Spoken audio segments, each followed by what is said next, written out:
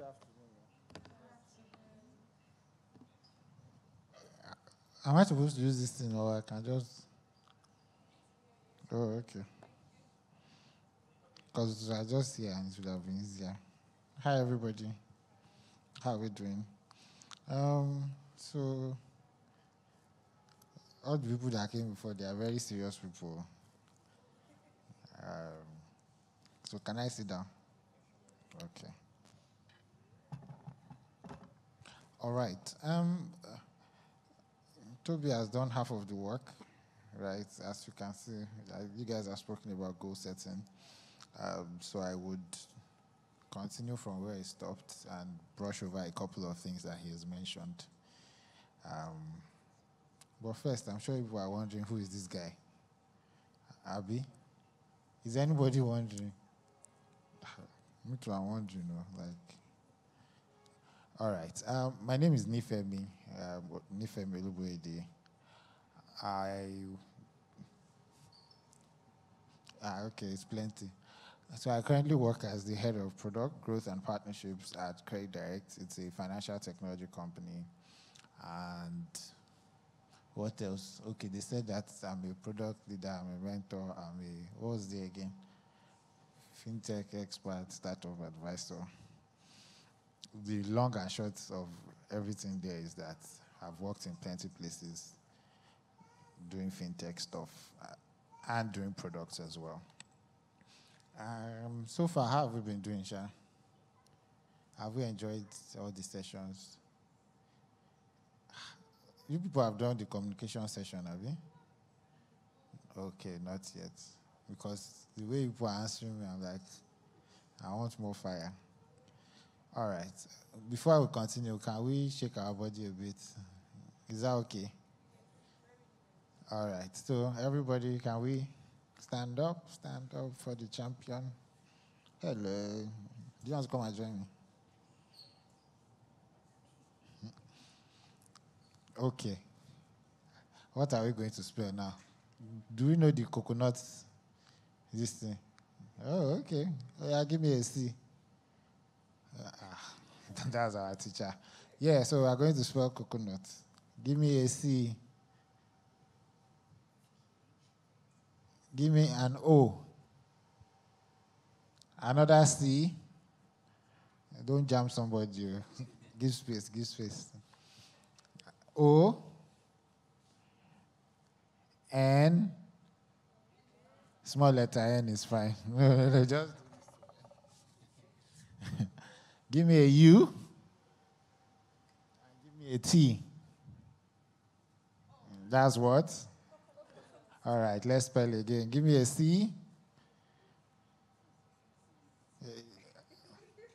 On your own side. For me, O C O N U T. All right, all right. That's free stretching. You know for those that did not get to go to the gym. Um, all right.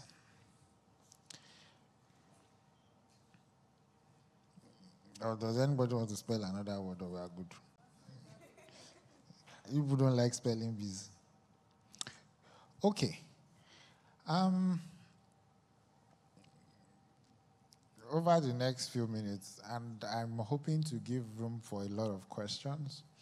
Um, because I oftentimes think that while all of this is fancy and it looks nice, and you probably write down things that you probably never go back to in this life again, the interactions from asking questions and getting actual answers oftentimes leave a more lasting impression.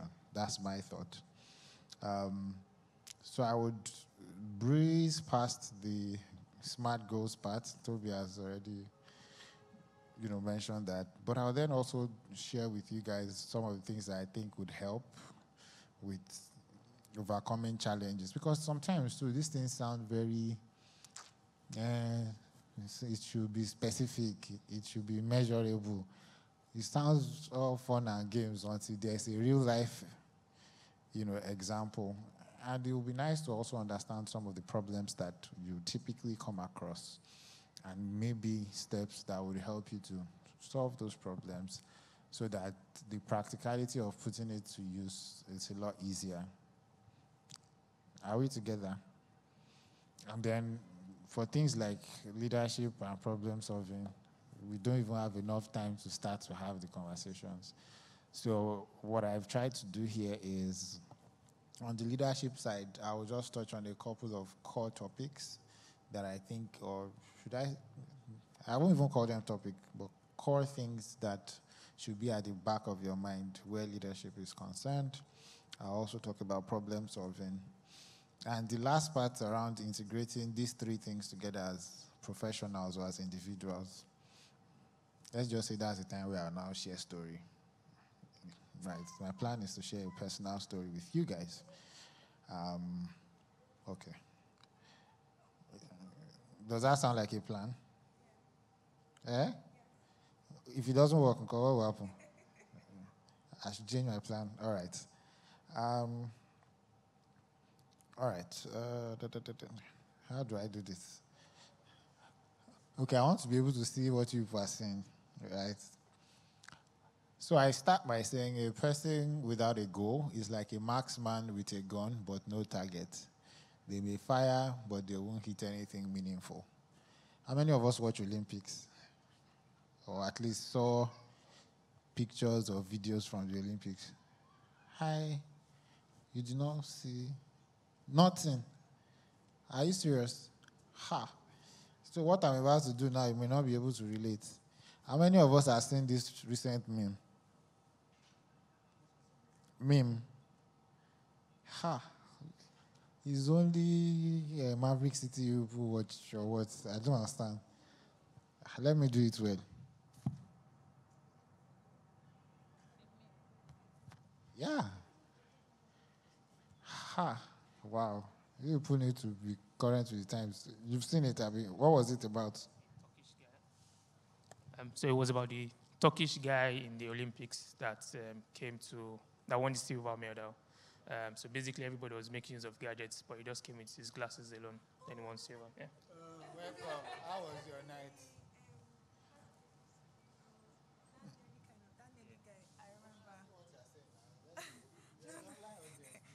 oh no, I was trying to say that it was a guy that looks like a nerd. That had that he was just very cool, and then next thing he was another guy. I remember it now. Okay. I use that example because, again, I'm talking about marksmen. And what it was, right, or the parallel to draw from that was they came to the Olympics to shoot, right? Shooting is one of the sports. You know, Abby? Or, I, or you just found out now? Okay. Right, shooting is one of the sports.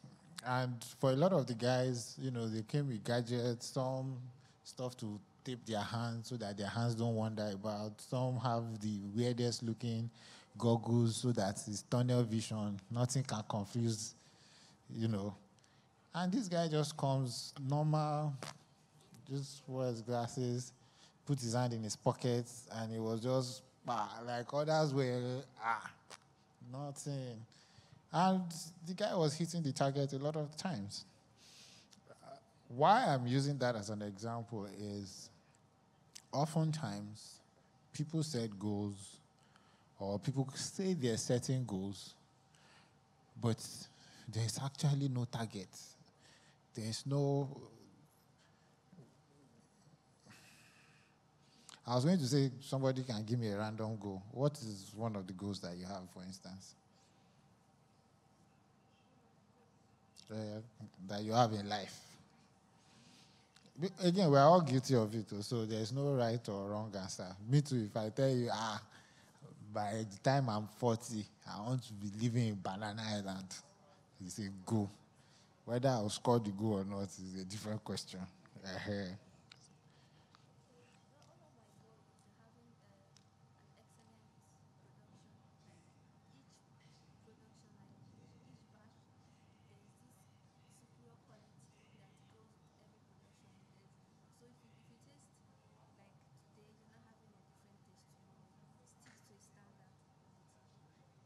Okay.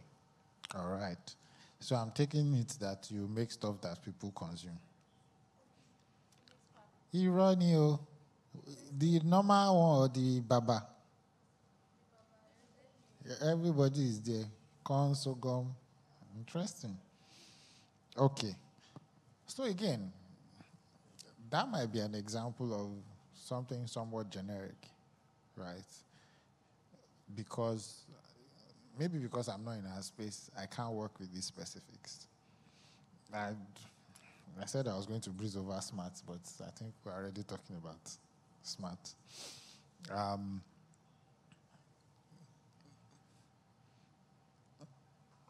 did you guys have examples when you had the previous session? Or it was just the template? Oh, okay. The reason why I'm dwelling on that or why I'm asking about that now is because while it sounds like a very lofty goal, the question is what is, and for context like this, you may not necessarily need to share with us the full, so she might have it in her head, she might have it written down. But for you, oftentimes, when you're doing this in your own space, it's important that you're not deceiving yourself. You can come outside and sound right and sound correct, but is your inside work that you are doing correct? The expectation is that for her, she has said what the generic goal is. How would she measure that yesterday's taste is the same as today's taste? There has to be a standard into the preparation. That's why you have things like cookbooks. That's why you have, you know, measures to say if you are going to be baking a muffin, you need three tablespoons of flour, one tablespoon of baking powder, two teaspoons of brown sugar. They even specify the color of the sugar. Um, a pint of vanilla flavor. I'm just using that as an example for specificity. So usually you're able to say when you have added all these ingredients together in this proportion under this condition, this is the expected outcome.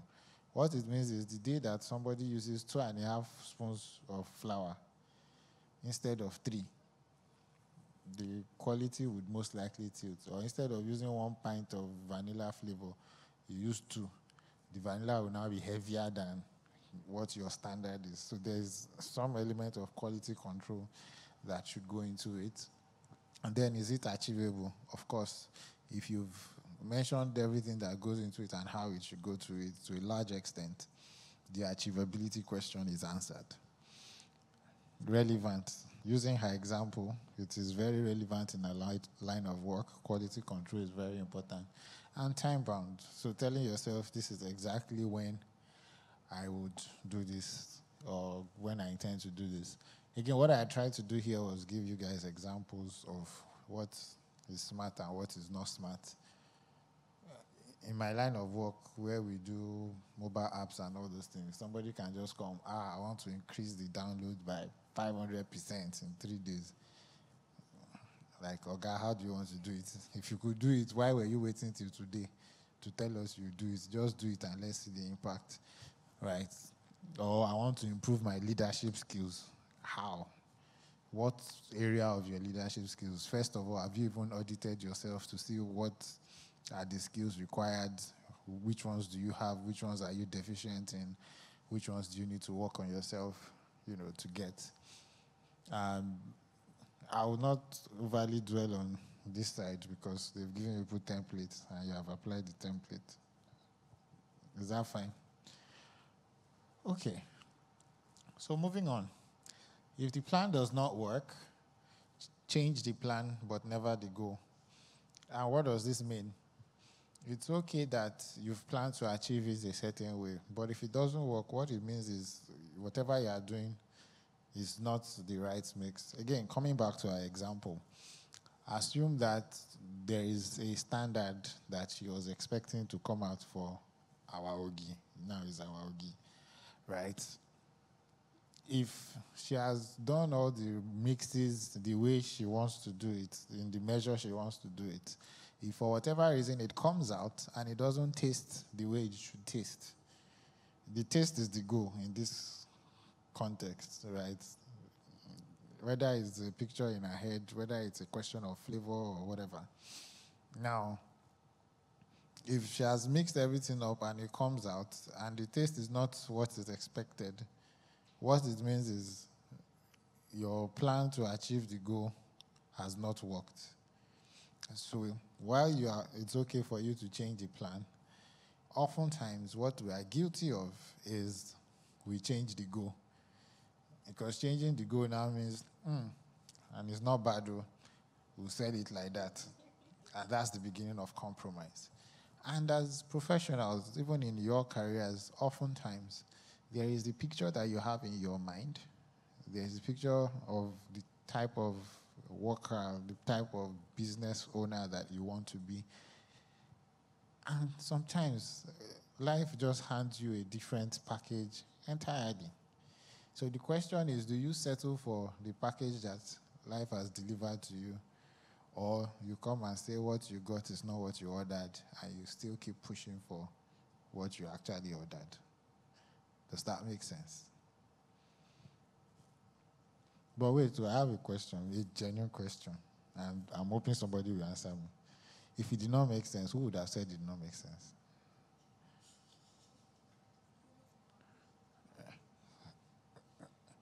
Eh?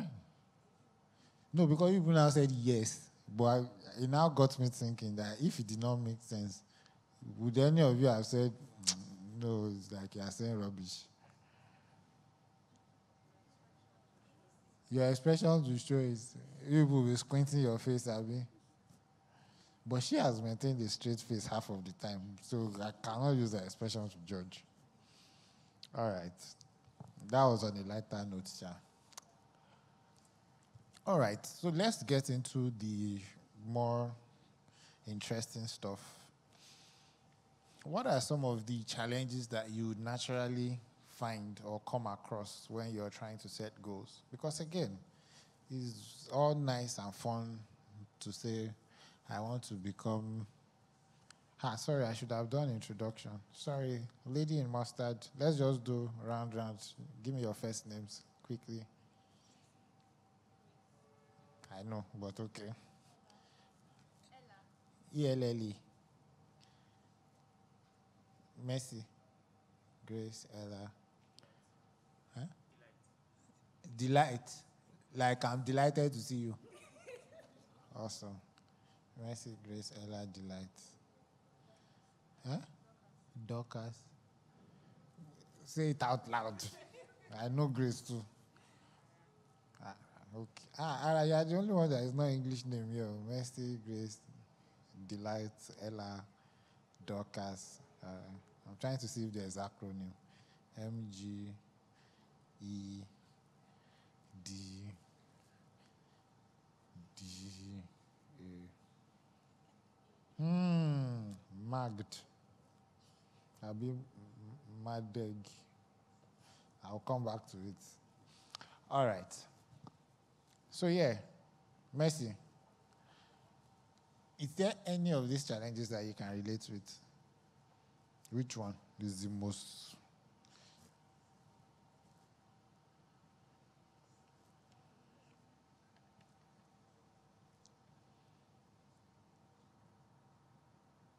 All of them. Oh, okay.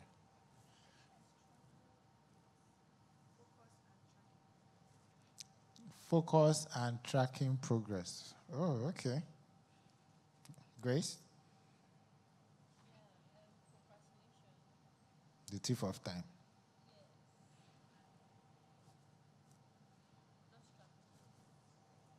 Okay. Ella? Sorry? Procrastination. Oh, okay, thank you. Uh, it's you. It's your turn now. um, um, not tracking progress and procrastination, major. Okay, so everybody is a procrastinator. Doc has shocked me. No, I'm not going to shock you. Oh, okay, yes, true. So mine is procrastination. Oh, goodness.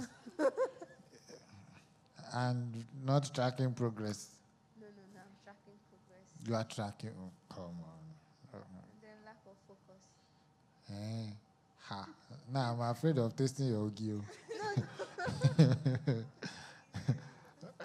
Are you sure there's focus inside? uh-uh. Ochi, customer dada. Fantabulous. Uh, how about Tara? Um, procrastination, lack of commitment. Lack of commitment. It was sounding like relationship problem, not goal setting problem, but okay. All right. Again, why I decided to do this is uh, so that it doesn't also look strange and everybody saying it out loud. It also helps you understand that. Uh, in the words of the famous singer of blessed memory, you are not alone. Uh-huh. So, yeah, procrastination is a valid challenge that people often face. Ah, okay, we've left here today. Once I get home, I'm going to set those goals, smart goals, specific, measurable, achievable. Who will finish the rest? Uh huh. I said I'm going to set my smart goals, specific, measurable, achievable. Correct. So who is going to set smart goals when they get home? Or no, next weekend? Because by the time you get home, you'll be tired, you need to relax, there's prayer meeting in the evening. Then tomorrow you have to be in church early. After service again, you still have one or two meetings. So next weekend we'll set our smart goals. Who is committing to setting their smart goals next weekend? Only one person. Two. Eh?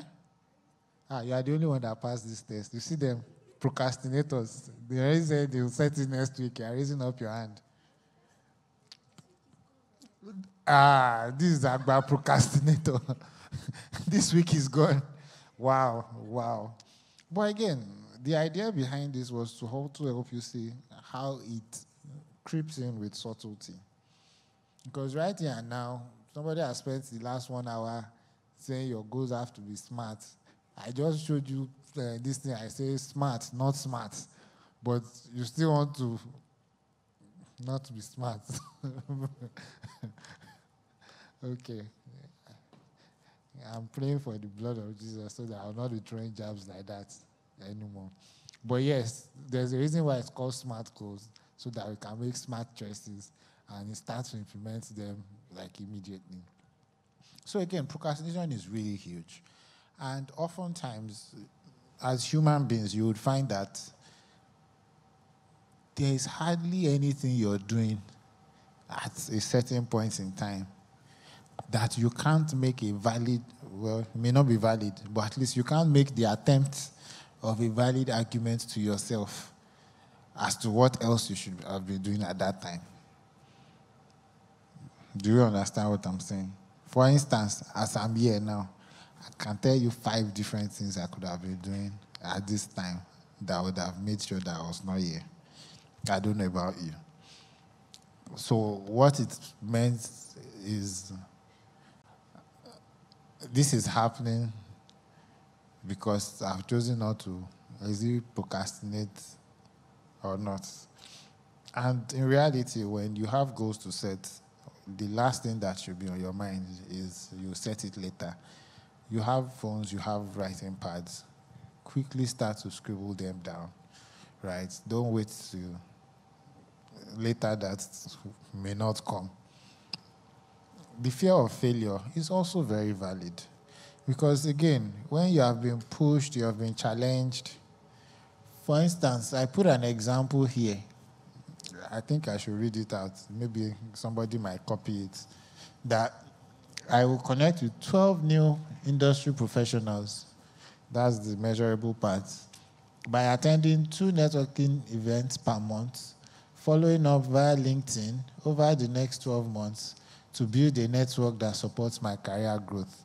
Again, this example was deliberate because when the earlier speaker was speaking, she has spent time telling people how you should use LinkedIn and whatnot. Toby came, he has also told you about productivity, how you measure your productivity, goal setting, and whatnot.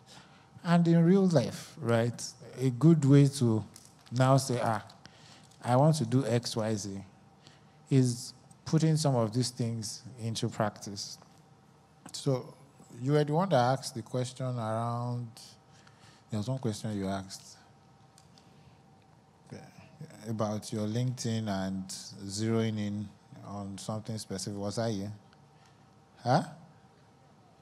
A niche. Uh, so, for instance, this might be a valid example for somebody like you to say, in this niche, what is that your niche?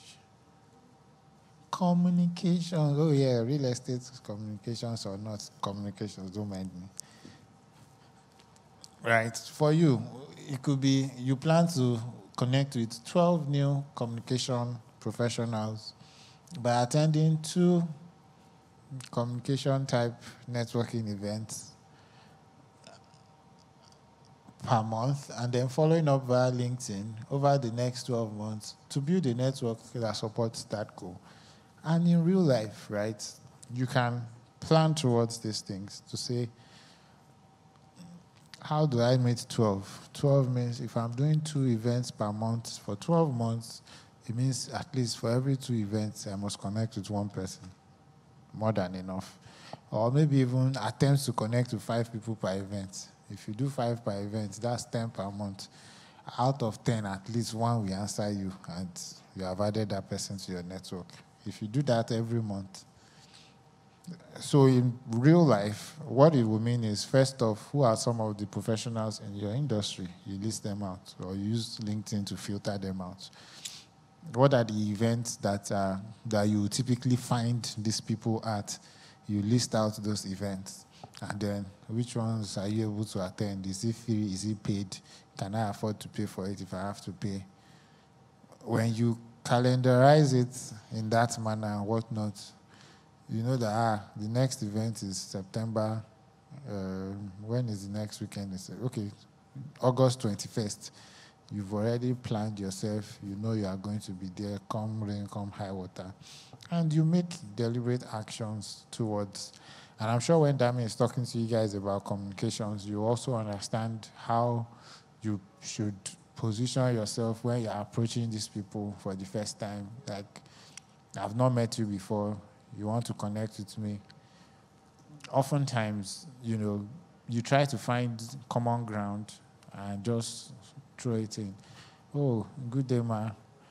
Ah, by the way, I follow you on LinkedIn. That article you wrote about seven effective ways to communicate um, in corporate communications, I really found, even if she did not know you before, you have already entered. Because it's almost like a validation when somebody has done something. You've taken time to see what they've done, and it's not just on surface level. You're, you know, bringing up conversations from it. So back here, right? While I, well, why I went to do the missionary journey back to that slide was one of the things that people are afraid of the most is the fear of failure or even sometimes rejection. So imagine she has told herself she wants to be meeting new people. That's her new goal in life. Meeting new people, meeting new people. New people. And she just walks up to the first person, and the first person just like, as I was saying, like as if you are not there.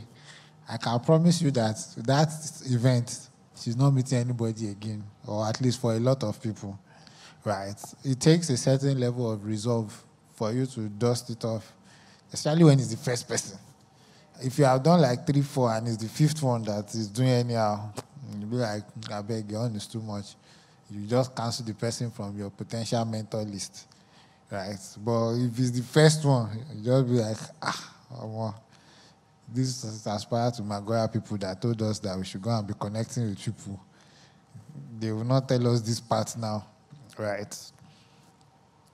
Lack of focus, like a lot of us have pointed out, Focus is not the easiest thing to do oh. because you could be in another setting like this and the gospel that is being preached in that setting is how you should stretch yourself, how you should multitask, how you should be able to do plenty things at the same time. Technically, that's the opposite of focus, right? However, you can also have multi pronged focus where, and I think I like what Toby shared with you guys with the um, timesheet thing. For instance, there was a time when I was working and my job cut across two different time zones. So I was working for the Nigeria office and the India office. India office is about four and a half, five hours ahead of our time. So what it meant was that if they are doing a meeting at 9 a.m. on their side, that meeting is uh, like 4:30 a.m. on our side. It's not me that they will kill. So I try to make sure that there are meetings that involve me does not start till like maybe 11 their time, which also means that by 6.30, I'm ready to join meeting. But there are days I cannot lie. That that 6.30 is me that we off the alarm. Right. What I then started to do differently was I became very deliberate about boxing every 15, 30 minutes portion of my calendar. So that while I was not spending the full eight hours with these guys, I'd planned my time to say from 7 a.m. to 12 a.m. and uh, p.m. Nigerian time. I'm working for India. From 12 p.m. to Mama calls. Mama can call at 12 a.m. sometimes. I'm working for Nigeria. But you see, inside that five hours that I've given those ones, every 15 minutes, every 30 minutes, when it's not a meeting, from as little as I want to spend time to review these reports, 15 minutes is in my calendar. I want to spend 30 minutes to have a meeting with my downlines. It's in my calendar. Breakfast, 30 minutes to grab coffee so that I will not die before my time is in my calendar. That way, I became accountable. Google Calendar also tried to hold me accountable because when it's almost time, to remind me that I have to do this. Then the added extra on it is you can, and I think Toby had mentioned when he was speaking, some of the tools, the Asanas of this world, or the Trellos and whatnot, or even Google Tasks or Microsoft Tasks, rather, right? You can make these things a task on those tools so that beyond the reminders, it's also helping you to tick the box. One of the things that you would find to be interesting about us human beings is we love to play games. Like, we just love the idea of competition. We don't like to lose. Anybody here likes to lose? So imagine that you have a checklist today, 10 items, you only check four. Tomorrow, you check three. Next tomorrow, you check five. By Thursday, it will be biting you. Either you reduce it or you tell yourself that you must complete it. So, to a large extent, infusing some element of mental gamification might also help you to, you know, have that um, tunnel vision type level of focus. Unrealistic expectations. When we are setting our goals, we should be coming down. I think that's the easiest way to explain it. Um, not tracking progress. I think I've also given you examples with this whole tra- um, tasks thing, where you make sure that for everything you're doing, you know, for some of these goals, they might seem big, so you can also break them down into chunks so that you say that, okay, on Monday I will do X, Y, Z. On Tuesday I will do X, Y, Z. On Wednesday I'll do X, Y, Z. By Friday, everything I've done from Monday to Friday should sum up to the completion of this major task. And then, of course, lack of commitment. That one is, is God that can help you. Let me just tell you. because it's very easy to just lose commitment. Sometimes I want to sleep. I don't want to wake up in the morning. I just want to be sleeping. Do I have a witness? There are times when you just open your eyes, the alarm is sounding, like, even though, by you snooze. But guess what? If you snooze, you what? Uh-huh. Again, it's not the easiest thing. It's not the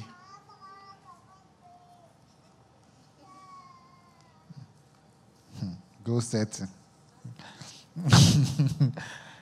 Again, it's not the easiest thing to do, but oftentimes, I think at the base of commitment is you having some level of resolve. And when the overarching goal stays top of mind, it sort of serves as motivation. And sometimes, some of these things, if you flip them, they could also be a source of motivation, right? For instance, personally, one of my biggest sources of motivation is that I don't like failure. So if I wake up in the morning and I want to sleep like this, I'm just like, ha, never, never, never. Today we go again. Today we go again. Right? And I think having that level of mental, you know, uh, I was almost going to say mental commitment, mental resolve helps to reaffirm why you're doing what you do, why you're waking up in the morning to because again, and sometimes the easiest reminder, if it is work related, is hunger. Right? If hunger wire you small, and hunger is in different grades. You have a witness. There's the hunger of nothing at all. There's the hunger of what you want, you can't get. There's shades and sizes of hunger. But at different points in time, hunger will help you to reset. Sometimes it could also even just be a state of, you know, you've looked at yourself, you've looked at where you wanted to be, and you see that you are not there, and that's the motivation. So at every point in time, there should be some form of anchor that helps you to reaffirm your commitment. And yes, on the days when it doesn't look so great, those anchors are the reminders that help you to flip your script. Okay? All right. So, to overcome this, I think you guys touched on some of these things too earlier. Set your goals, be accountable. I mentioned breaking it down, and also prioritizing, right? Knowing that okay while i've broken this down this one comes first this one comes next so that you're not doing the one that you should be doing last first and it sort of um, convolutes the entire thing for you. All right. So like i said about leadership leadership people go to full-time school for leadership. So we cannot even begin to what's the word now? Delve into the entire concept. But what I've tried to do is shed some very important um, aspects or elements of leadership. Sorry, I'm blocking your view. Mm-hmm. All right. Emotional intelligence. I know we hear this thing a lot, but can somebody tell me what they think about emotional intelligence? Because we are intelligent, yes, but which one is the emotional inside?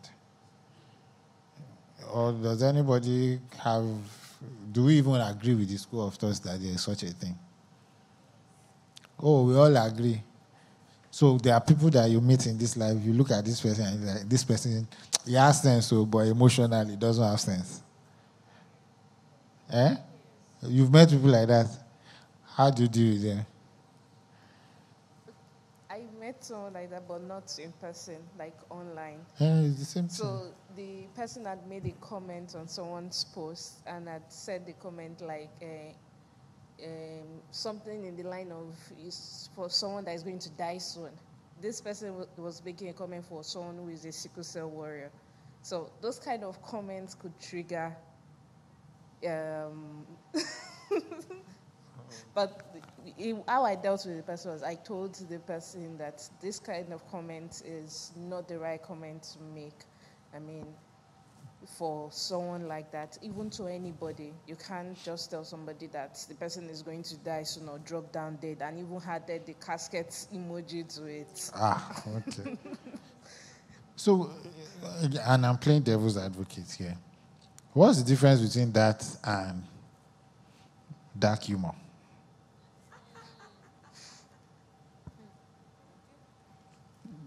That your laughter is it giving emotional intelligence? Like you're laughing at me. So who are you laughing at? My situation. I think the difference with that is okay, the next response the person will give to whatever you have said. So the person could just make a comment that, oh, it was just dark humor, you don't understand, or something like that. But the response this person said was, I don't see anything wrong in what I said. Okay. I think we can agree that that person does not have sense emotionally.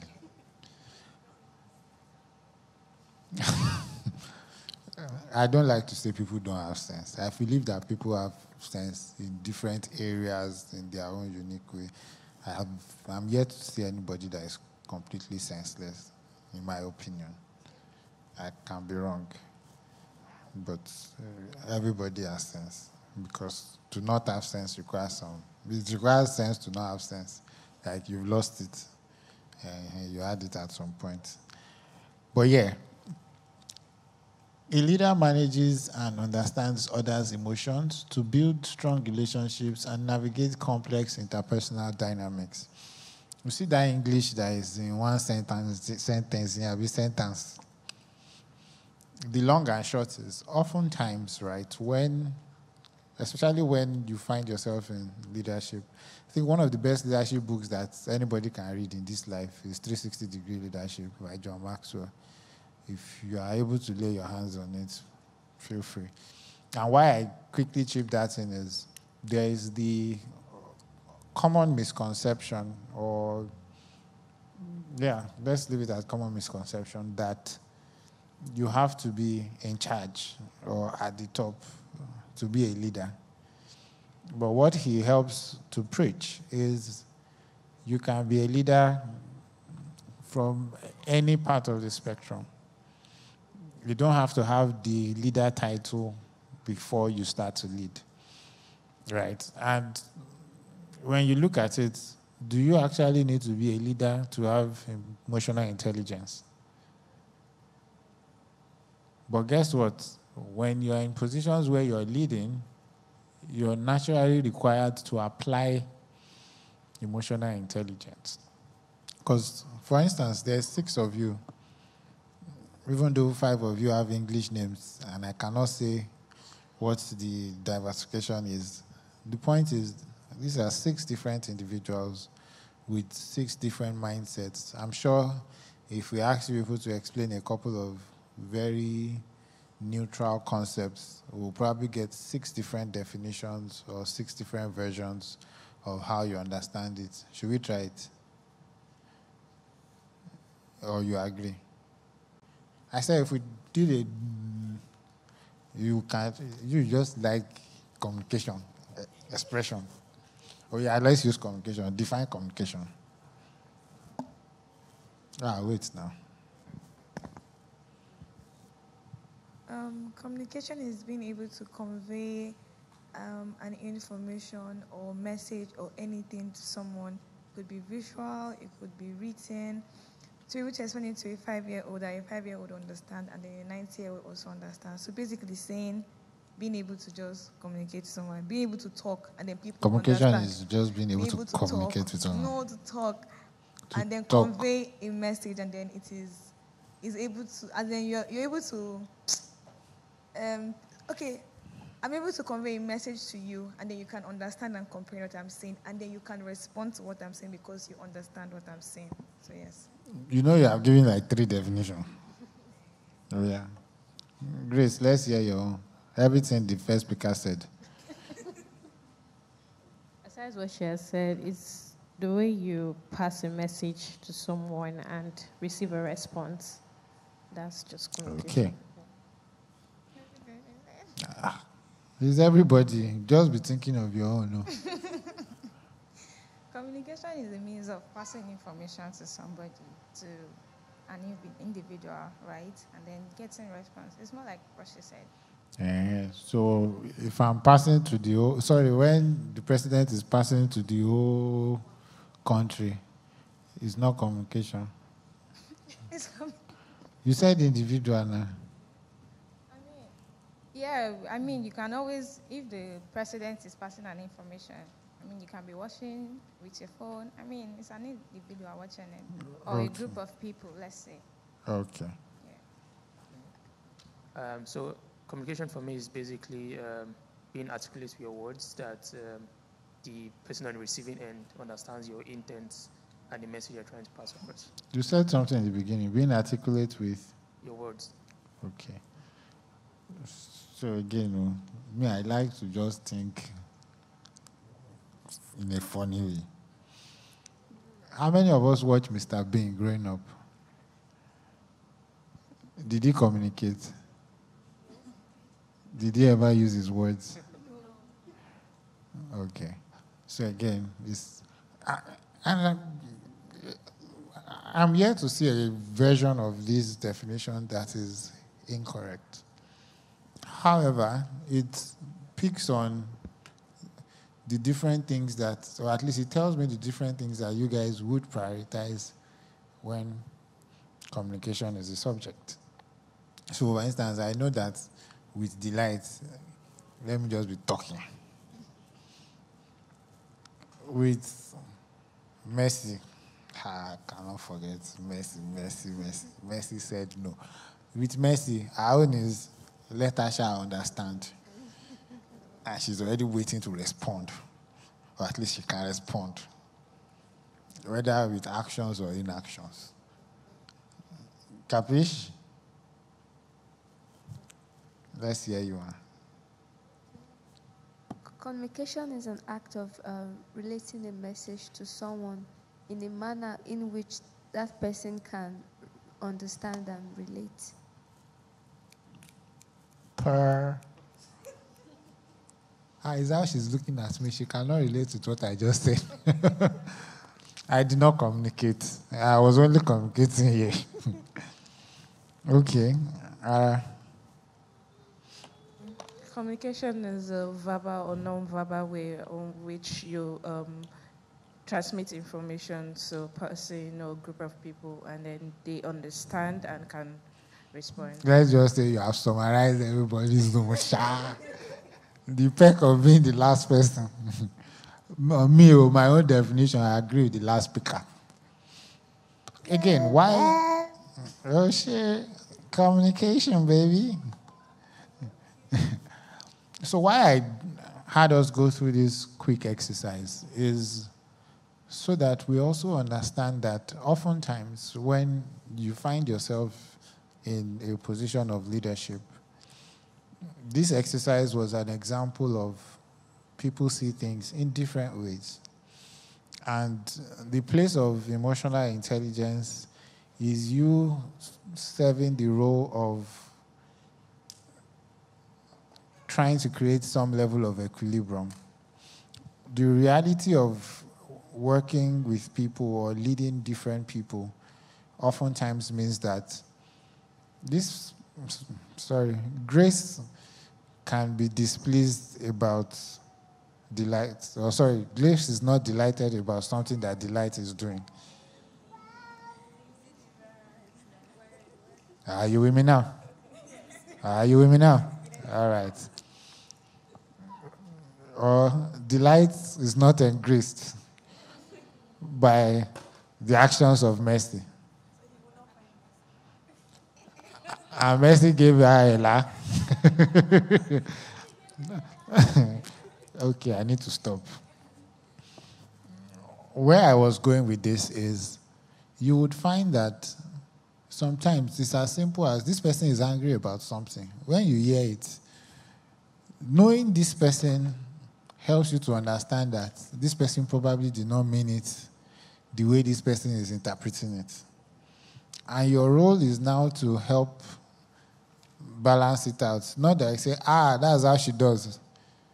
Rather, you are even in a position where you're potentially helping um, Grace to see it from Dorcas's standpoint, or helping Grace to see that this thing that you are complaining about, if we actually look at it, it's not the problem, oh, right? And again, it's probably another thing that sounds very aspire to Maguire because we are who we are. But that's why it is a skill that you then need to work on, that you then need to train yourself on. And one of the things I would usually tell people as the first basis for your emotional intelligence journey is eliminating your biases. Right? The moment you are approaching stuff neutral, not with the preconceived notions or concepts that you have in your mind. Okay, it's not heavy, Abby. It should be an easy journey. Effective communication. I will not dwell on this one because the one that comes after I. Ah, you people have not read Bible Read Oh, okay. Uh-huh. So uh, just consider that line as the John the Baptist of your communication talk. Strategic thinking, this one too is another big word that people like us will come and put on PowerPoints. Which thinking is not strategic? Eh? Because they've now put strategy inside now. It's supposed to be a special type of thinking. But again, the way they would help you to explain it, and by the time I read it out, you now see that it's not so strategic after all. It's just thinking, but a leader sees beyond the immediate tasks and considers long term goals, implications, and how it aligns with broader organizational objectives. Again, if you have become familiar with concepts like SMART goals, you will find out that it's not so hard to think strategically because if you know the goal in sight, you've broken down how you are going to achieve the goal, the elements of it that is measurable, the time sensitivity around it. The leap between your default thoughts and strategic thoughts is this task will be completed today, but what is the implication on the entire goal if I don't complete it today? You are now starting to think beyond the immediate and seeing the bigger picture.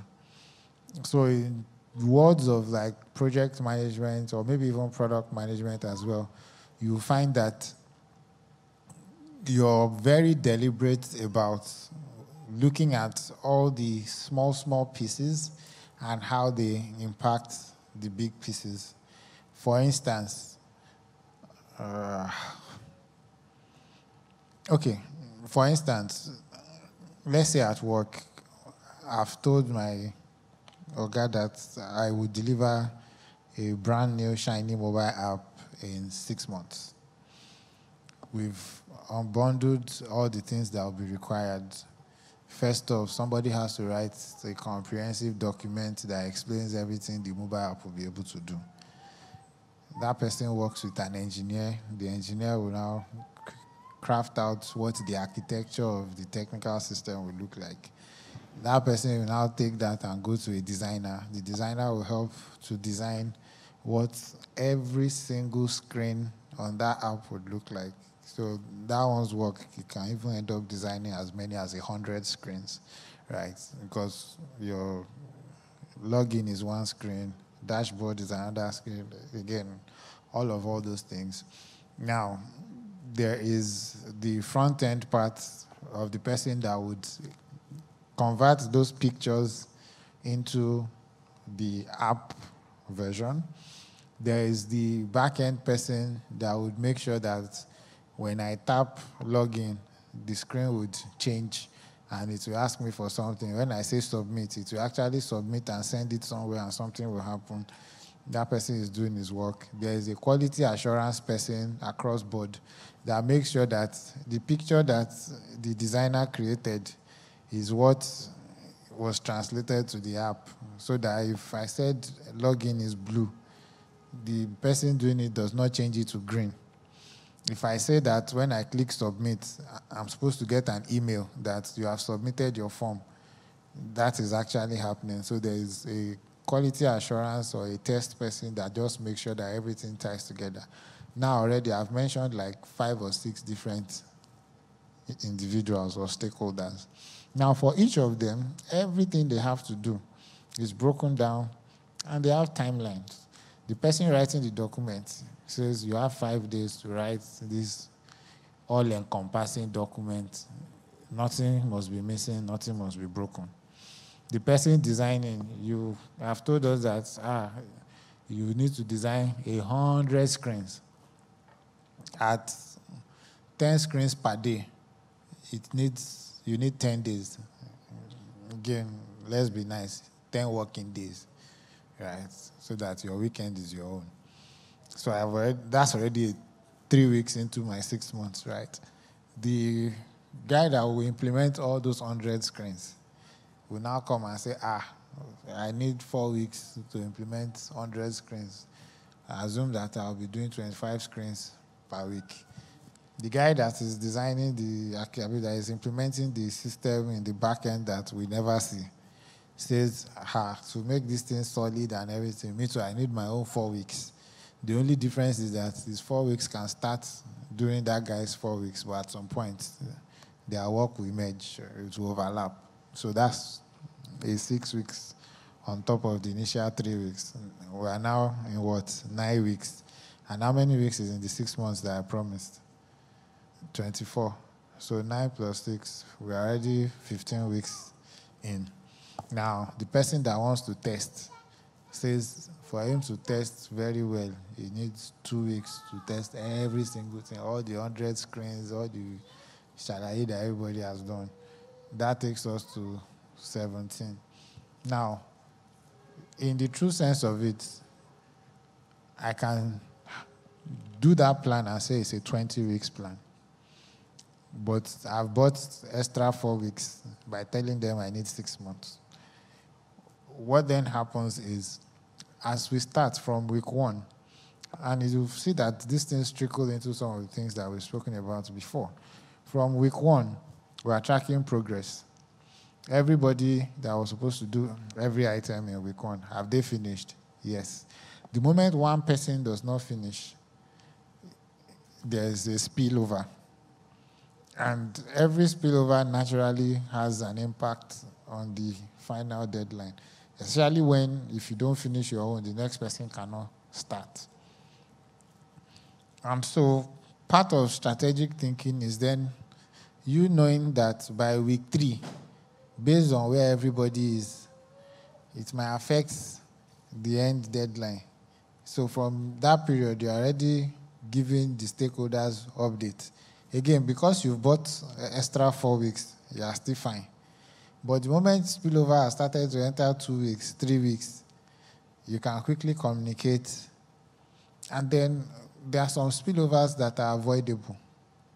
Somebody says, ah, it's in the middle of that, your uh, 20 weeks that he wants to go on two weeks leave. Whereas he's the one that has promised four weeks to finish something. Meaning, inside his four weeks, he will not do two weeks. When he comes back, he will now do two.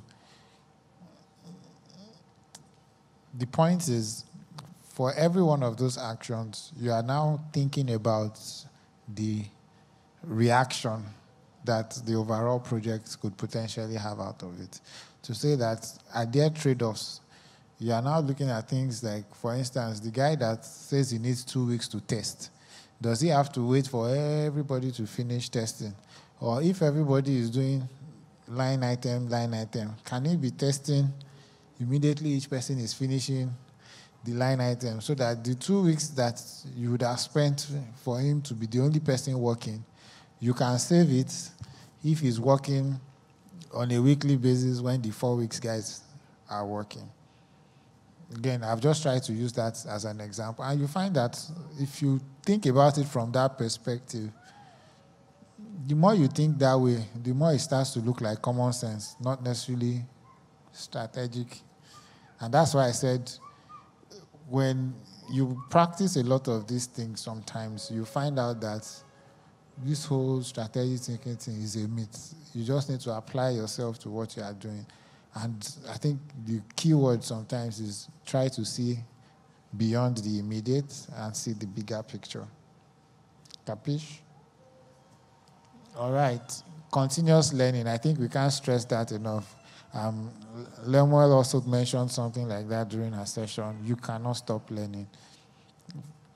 Even, I think at some point I took a pause from learning, but I know in the second half of this year plenty, plenty learning. I just finished one program some weeks ago. The day I finished that one, I started another one that is for like four or five months.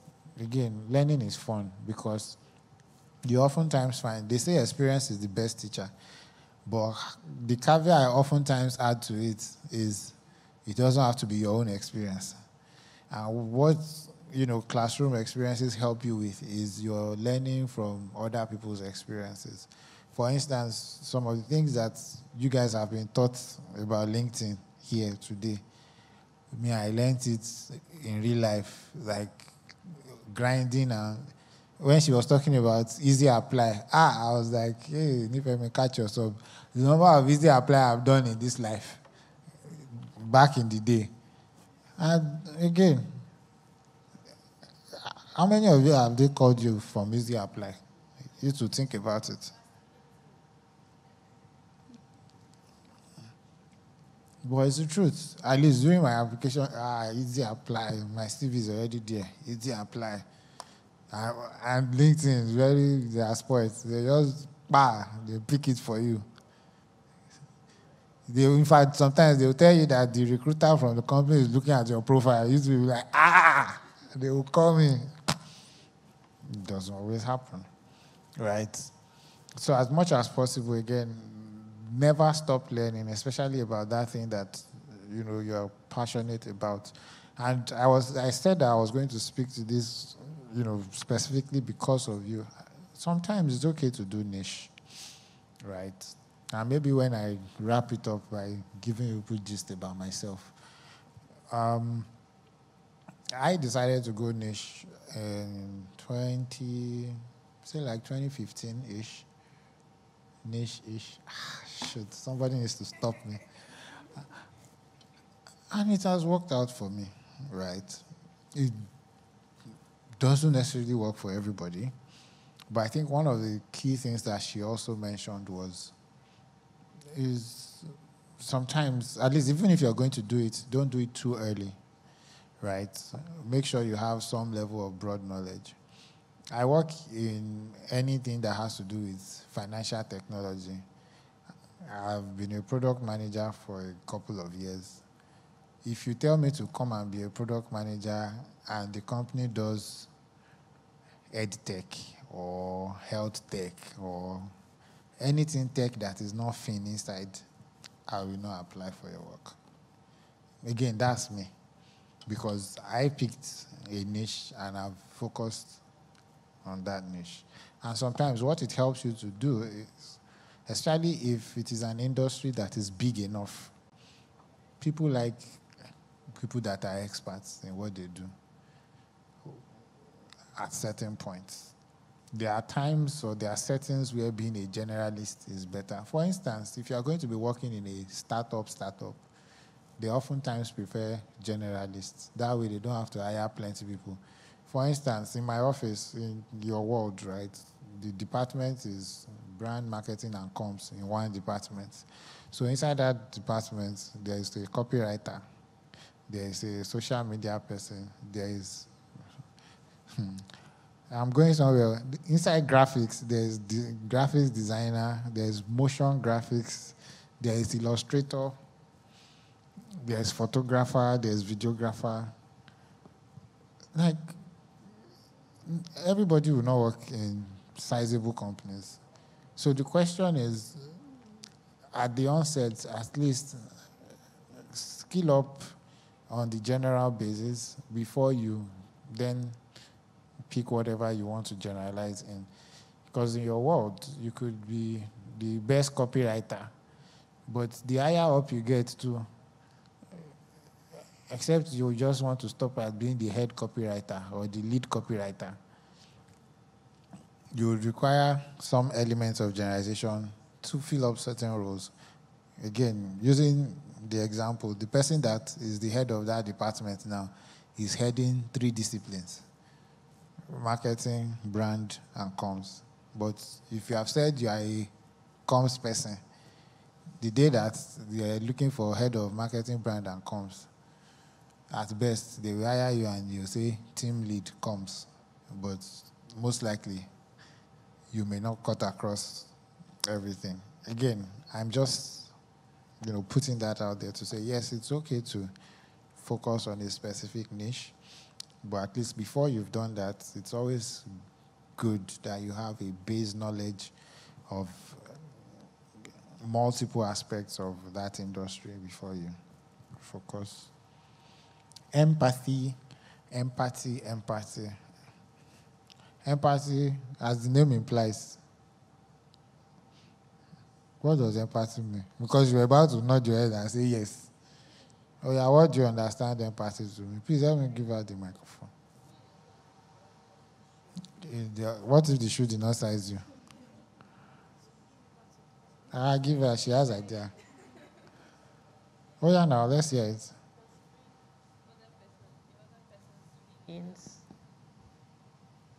Sorry? Considering the other person's feelings and like, perspectives, like I wrote, Abby Oh, yes, perspective. Okay. like considering the person's feelings, like trying to understand the person's emotion at that time and relating to that person in a way um, that the person does not find, um, I don't know, just being emotionally. Um, okay, so let me flip. Let me flip the question a little bit. Assume we were a group and you are our leader. In real life, tell me how empathy plays a role.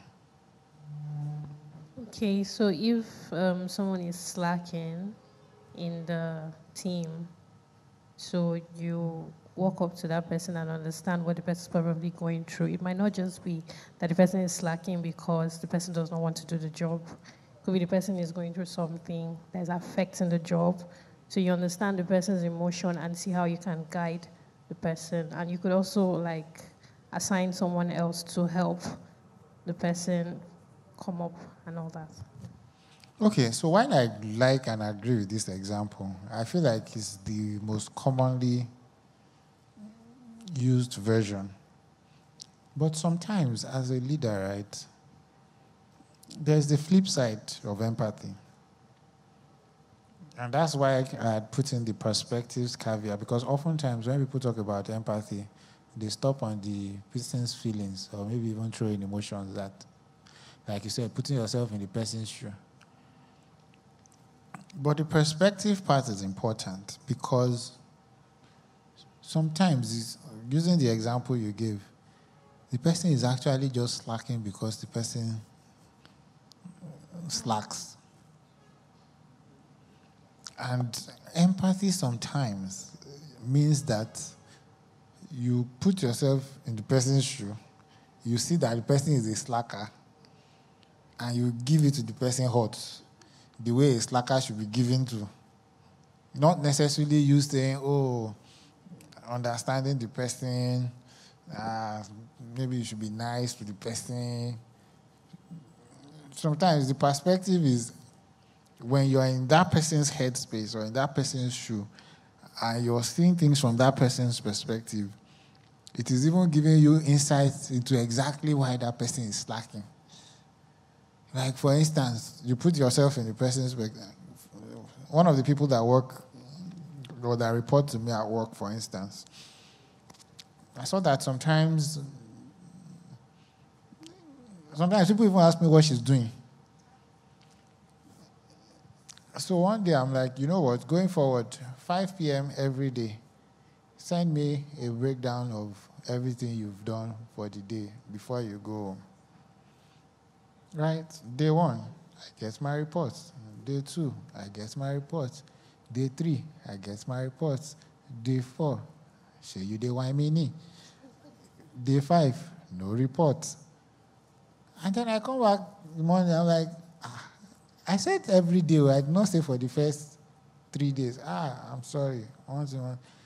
in that moment, as we were discussing, I by myself, I set a reminder on both our calendars that 5 p.m. remind her to send her report. Me, I'm getting the reminder. I'm waiting for the report. Sometimes I will not get the report.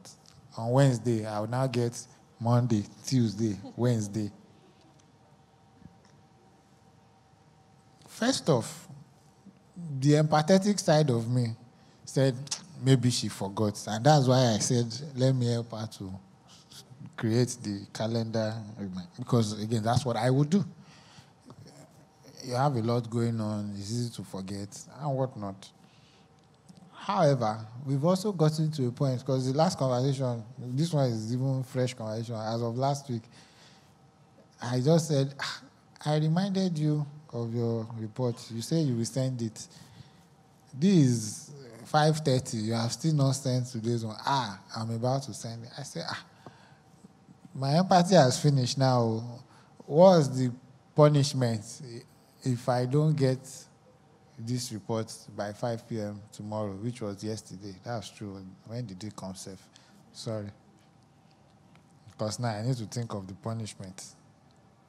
But the point is, sometimes, right, putting yourself in the person's shoes just helps you to understand why the person is the way they are. And the reaction to that does not necessarily mean you have to be nice. Sometimes the reaction is you have to be the opposite of nice because that's what is required. And sometimes you can even be recommending training like this one goal setting, productivity tracking time scheduling and whatnot. Success is a collection of problems solved. Amen? Amen? Okay. All right, so I'll just run through this very quickly to one of the things that you'll find yourself having to do constantly in life is solving problems, whether as a professional, whether as a leader, whether as a business owner. And one of the common methods that uh, would typically be applied towards problem solving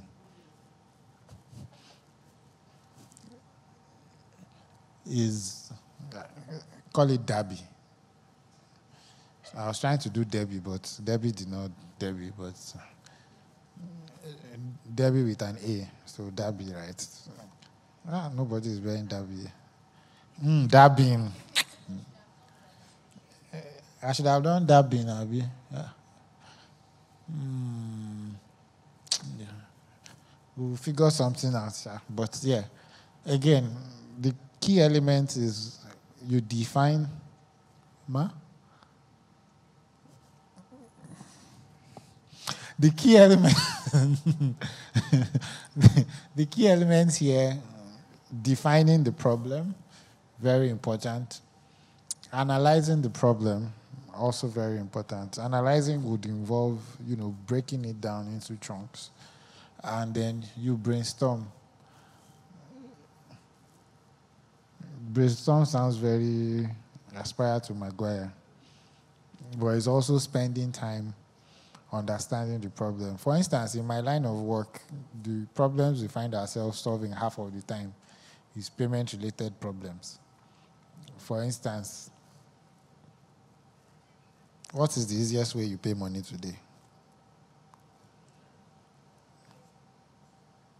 So, card transfer, which one do you prefer? Card. You like card? You like card? put in 16 digits, wait for OTP. Sometimes OTP will not come. Ah, you call sharp sharp app or USSD. Transfer app or USSD. App. Which one is sweet?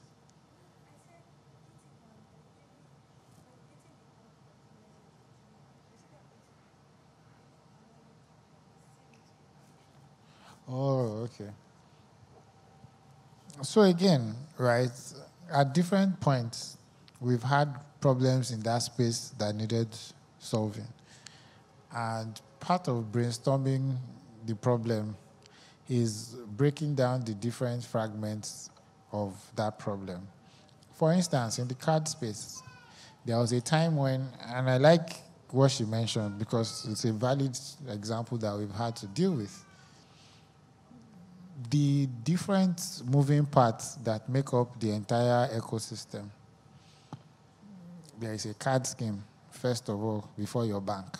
So your card can either be a Verve card, a MasterCard, or a Visa card.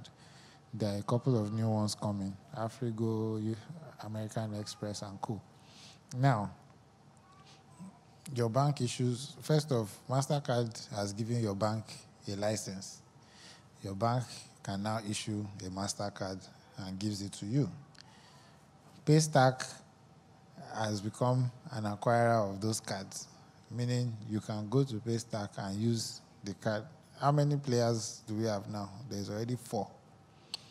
Now, when Paystack collects your card details and they send it to your bank, you get an OTP. That OTP is sent by your bank through an SMS gateway there's now another party. Different providers provide that service. When you put it back in, it goes back to the bank, they authenticate, everybody is happy. Now imagine that the bank that Paystack is using is not your bank. There's a second bank that is also in that equation. So I've mentioned like six different players. What it also means is there are potentially six failure points because any of those six can be down. And it means that transaction you want to do in 30 seconds, somebody can spoil it for you. A good example of the spoiling, for instance, is in the OTPs via SMS. In recent times, it has even been terrible. The telcos have been having the time of their lives. You do transaction, two weeks later, you just see like seven SMS, you just enter once, you think somebody has hacked your this thing, you now check the date and see that, ah, okay, you are the one that spent it. But guess what? At a point, it was causing transactions to fail or people could not finish those transactions. And it was in that time we said, oh, okay, we have people's phone number, we have people's email. Why are we only sending the OTP to phone numbers? And then emails became the thing. So some will tell you to resend to your email. Some will even send it to the two from the beginning right? And it was born out of OTP was the problem, separating all the different players, the roles that they are playing to now say that, ah, okay, this SMS provision. Today, some people, their solution to that problem is they have three different providers of SMS. So that if I send to this one and it fails, I'll try the second one. I can try a third one. Again, I'm trying to give you an example of how an actual problem ended up being solved. And which is why a Mercy can come here today and tell you that she doesn't have problem with using card because some problems have been solved. There was a time when, in fact, on the gateway side, eh, OTP will expire in five minutes. So sometimes you'll be getting the OTP after it has expired. You now have to go and start again. But again, testament of the problem that has been solved is her coming to say that cards are preferred. Even me, I'm shocked, but again, it is what it is. Um, okay, well, when you've picked your solution, after brainstorming and you've picked a solution, you implement it, and after implementing, you evaluate. Uh, sorry. So, yeah, at the end of the day, right, the question is how do you incorporate all these things? You've now started to set your goals, you've imbibed elements of leadership and problem solving. In real life, how do you integrate all these things together? And I'll share a story that is a personal story. So, where I worked in 2015, I just joined. I joined the company in October. I was too young that time and green. Why are you laughing? There was not a time that I was young. Right. Um, and in December, a lot of transactions happening. In fact, I will never forget, it was December 31st. Systems were down. We worked with all the banks in the country, and we just kept getting emails. Our system was down. Imagine bank teller that wants to balance and go home at 4 o'clock. They can't go home because our systems do not allow them to balance their accounts. So imagine getting emails. Each bank, one bank can have maybe 500 branches. The big banks, them UBA, First Bank, Zenith. The ones that don't have plenty, 300, 150. So imagine every bank sending email to one email address. It was just coming. And in one branch, maybe they have like five tellers, three tellers, two tellers. So from one branch, you can get like three or four emails. We kept getting those emails, which we were supposed to close by five o'clock. But our policy was no email must go unresponded to. So we kept responding to, in fact, at some point, we had created templates. Once I just open, I can open 10. I just paste this template. I just do send. 10 emails will just go out at once. Prah! As that 10 is coming, another 20 has replaced it. By 11 p.m., we still had over a thousand emails to respond to. And there was maybe like three or four of us left in the office. My boss just says, you know what, let's go. Again, it's 31st, meaning we are not coming on the 1st. And I think the first was now a Friday, so it was going to be plus weekend. I just joined the company then, so I wasn't even up for weekend work. There were people that used to work weekends. I didn't used to do weekend work. But as we were going, I told my boss, I was like, you know what? You people should give me modem to take home with me. That time, internet was not the way it is now. The modems that time, if there's no light, it cannot work. I think it was, was this Smile? No, I think it was red in color. Spe- not SpectraNet, but the SpectraNet time, all those box that we have thing at the top. So I told them to give me one of those that I'll take it home with me so that I can walk. And then I go home with the modem. In fact, that's the first time in my life that on the 31st at, at 11 p.m. I was not in church in my entire life. Again, elevation, I plugged in online. Elevation used to do 7 to 10, and we go. So I just got home. And immediately I got home, I plugged the modem, I started responding to emails. I was up till 5 a.m. responding to emails. Again, nobody sent me.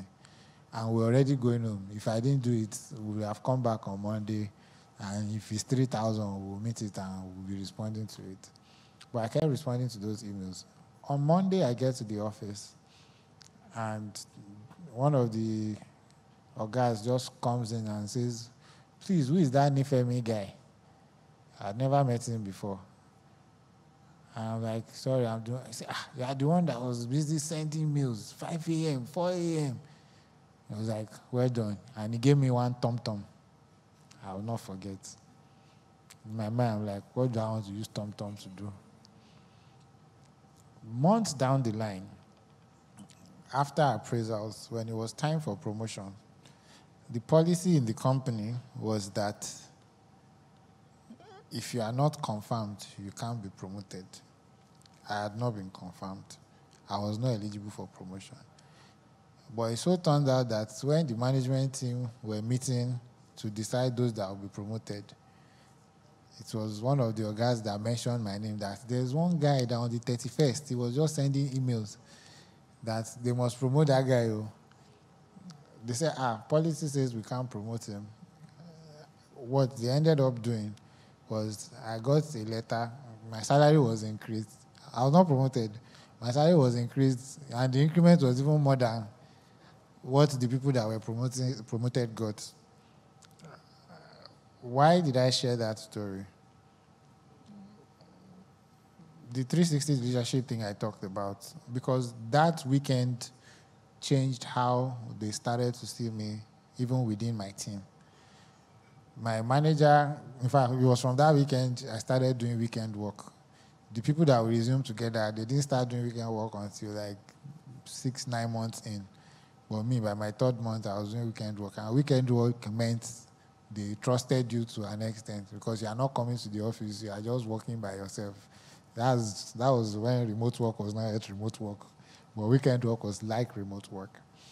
And why I share that story sometimes is doing the extra or getting the extra is not oftentimes born out of doing what is expected, but doing what is expedient. And also it coming from a place of natural occurrence. You're not doing it because of the expected reward, because I, I was too junior to even understand that there could have been a reward out of that exercise. I was doing it for fun. I can't even lie to you. So the fact that it played out the way it played out, if I came here and told you that it was because I did smart goal setting and I saw that ah, it's specific, it's measurable, nah. So I will just end by telling you what you've probably heard in church plenty times that seest thou a man diligent in his works, he will stand before what? Kings and not before mere men. All right. Any questions? If not,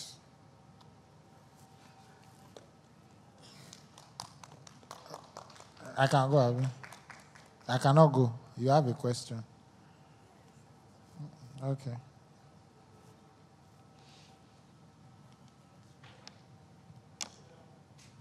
Okay. Um,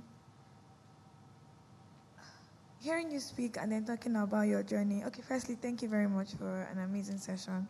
Um, how were you able to know? Because you, you said that at some point you did a lot of things, right? You were like you did a lot before you knew what you wanted to do. So, how did you know that is fintech that is a thing for you? I know they will say you feel it, you just know it, but like I want to know how you got to know that this is what you wanted to do. And then you also mentioned that um, there are times that you just want, it's important for you to just be general for a while. And I find myself in that space where I've done a lot when it comes to work, and, I'm, and then I'll feel like, oh, today is research that I like. And then after some time, the passion will die for research. Now, it's advertising that is in my head. And I feel really good about it, right? Not as much as I felt for other things I have done. So is it that that's my niche? Is it that that's what I should focus on? Or should I just keep allowing God and myself just go with the flow and then eventually I would now find that uh, Mr. Nifemi's moment too? Interesting question. And I'll say that sometimes, right, God could even be pointing you in directions without you knowing it. And again, I'll give you further context on myself. My own plan, the one that I planned for myself, not the one God planned. By now, if I had not yet hit being a professor, maybe I'll be max two, three years shy of professor by now, using my current age as my, um, what's it called? It was very clear. Finish my BSc in economics, immediately start my master's. My master's was going to be in international monetary economics. My PhD was also going to be further delving into international monetary economics. In fact, by the time I was finishing my BSc, I knew exactly who I wanted my supervisor for my master's to be. And any school that guy is in is where I was going to go and do my master's. Fast forward, end of NYSC. It's time for masters now. ASUU strike happens. I'm like, this is the school I'm going to. I'll wait for ASUU strike. By the time ASUU strike finishes, the session had not concluded before the strike. So when they resumed, they were coming to do second semester of the previous session. By this time, I had finished NYSC, maybe six, seven months post NYSC. And I said, I am not working, that I'm going back to school. Like I was talk about focus, talk about uh, what are those things ahead, commitment. I was committed to the goal. Fast forward month 10, or sorry, month 9, the school then comes and says a lot of people are applying for masters. They are going to write entrance exam. Again, that was the first time I knew that you can write entrance exam to come and do masters. Masters is the school I even finished from again. Master, they so we went, wrote exam, they pasted results. I think I was the second on the list. It pained me, but the person that came first, he just finished. So that was my consolation that I mean, I've gone to NYSC and come back, I've forgotten. That's why. But the point was, by the time the results came out, oh yeah, now admission time, submit XYZ, D, D, D, D, D. They kept quiet. By month 10, randomly, one of my egbons in the choir then, the church I attended, was just like, ah, there's an opening in First Bank. Oh, he worked in First Bank. He was not privy to this, my master's, this thing. You know how people will see you in church and you're like, ah, this young promising guy, he has finished serving since. He's just around, he's not doing anything. The next thing the guy says, oh, there's an opening oh, that he has even put my name on the list of those that passed the first interview, interview that I did not do. That the second interview is the following day that I should be coming. I was in Ibadan. The interview was in Akure. I was in Akure that next morning. Is when I got to that second interview that they now gave me the paper of the first one. That I should did it so that they can document it. Again, I don't know if I should call it favor or leg, but let's put it let's put it on one side. But again, what happened was I got there that same day, did the second interview, third interview, even did medical that day. We'll call you for your offer. Because when you do medical, it's as good as they are giving you the work. So by the time I was living in Badon, my brother in law, who also works in the bank, was like, ah, I heard you are going to do first bank interview. I thought you say you are not working. That that's why me, I did not push you. Oh, yeah, send your CV. I'm like, oh, yeah, now. I've gone to do an interview. I cannot tell him I'll not send. That's how I sent. He was working with Zenith. And then Zenith calls me. Those ones, I think I did like five interviews at different times. But guess what? The whole five interviews, remember the first one, I did everything in one day. This one, I did five across maybe like two or three weeks by the time I get an offer from them, I resume. Master's admission letter now comes. At that point, I was like, no, no, no, no, no. This one that I started work, master's, we, we gonna wait. And that's how I left the master's dream. It was when I started working in the bank that I then got to learn about fintech products. So we were using products built like Interswitch, eTransact, Remita. And that's where I got interested in those things. Like, ah, these things look really nice. You just click a button, it come and debit our system. Customers are happy. And I started to read more about it. Also, it was in that bank phase that I also then looked within the bank. So then a lot of the banks had these emerging departments they were calling e-business. E-business is electronic business. That's when things like transfers had started to pick up. But what I looked at when I saw the people that were in those departments, it was like a rite of passage. Maybe you've done a few years as a teller, they've moved you to fund transfer officer, you've moved to another department, and naturally, they just move you to e-business. There were, at least there was nobody I had seen that was in e-business because e-business is what they wanted to do. And it was at that point I told myself that, you know what, this fintech stuff, this business stuff is what I want to do. And as God will have it, the next job I would get was with System Specs Remita, one of those fintech platforms we were using in the bank. Between you, me, and God, till today, I don't know when I applied for that job. But the only reason why I know that I'm the one that applied is because when I checked my email at some point, I saw that I sent my CV to them. Who asked me to send it? How I knew about them? In fact, at the time I sent that CV, I didn't know that System Specs was owned by, uh, Remita was owned by Systems. I just applied. In fact, to add the icing on the cake, the email for the interview for that job came in, it was 9 p.m. in the night. I was like, who sends an interview this thing at 9 p.m.? Which kind of unserious company is this? You know, you work in bank, by 5 o'clock we have closed. So anybody that is sending mail at 9 p.m. seemed abnormal.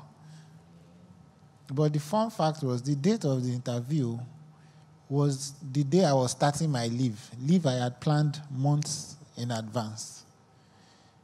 And for me, that was the evidence of divine orchestration because I had applied for the leave, they had approved, I had planned to go and relax, and they said I should come and do interview, right? What I'm, or why I went this route to explain all of this is if I came here and told you that ah, I was strategic about it and whatnot, I would be lying to you. I also think that sometimes, you know, when we say some things and we say it as if it's a mantra about lying falling in pleasant places, sometimes it also helps with helping you to chart your course. So for you today, it is that, you know, what's the current one that is the hot cake now?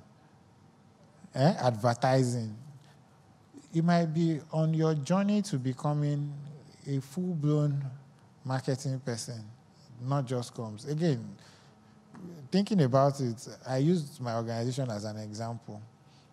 The person who heads that department knows a lot of comms, knows a lot about branding, knows a lot about marketing. But if you go and find out what her core is, it was marketing that was the core. So sometimes it is also God putting you on multiple journeys. Right now, yes, I'm in financial technology, but in the last four years ish, I've been focused on the lending side of financial technology. Before that, it was the payment side. And some of these things did not happen because it was planned.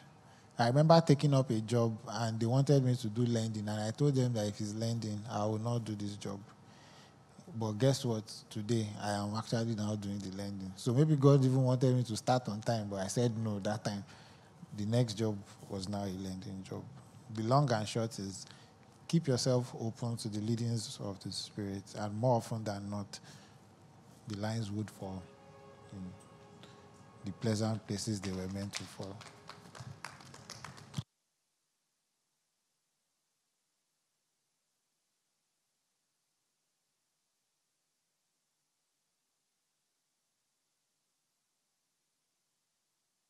You. We truly appreciate this. Um, our sister Lemon wants to share a comment, and then we'll round up now. We have another session, but you know we can't take it because time has gone. So she would take the session. Okay, it's, it's, so it's a quick it's a quick comment on how do you know what you're supposed to do. I don't think you should put yourself under so much pressure to know number one because okay so for someone like me now i studied finance bachelor's and master's. So typically, you won't expect that I'll be in tech, but I'm in tech. But one thing that has been consistent from that time till now is that I create stuff, I build stuff, right? And then I help people and businesses make their life beautiful. That's what we do as fine artists. So it was a solid background for what I am doing currently. So, like um, Nifemi said, you don't necessarily need to now say, I am going to be this for the rest of my life. It's a journey. You want to allow yourself evolve. The only thing is, during that process, don't be stagnant, waiting for what you don't even know about. Grow with the journey. So, if you are excited about advertising, get on it and explore every aspect of it till you find anything else or till you are now in that space where you said like i don't think i want anything other than business analysis or business management or branding because i've been doing it both directly and indirectly i've helped people you know brand for free i've actively looked for people to brand and i just enjoy it fortunately I am I'm in a business that does that officially. So now what I enjoy, I'm making money from it. So at the end of the day, you'll now see that whatever you finally end up doing, all of these things that you've learned in your full career journey now becomes your specialization. And then you are now someone who probably is a comms person but understands marketing, understands advertising, understands this. So when you now hire people or you are now leading people and they are doing it wrongly, you can put them in the right path. And then mentorship makes the journey shorter. So you want to find someone that is already in that line and then let them guide you as well. Thank you so much. Absolutely. She hit the nail on the head. Um,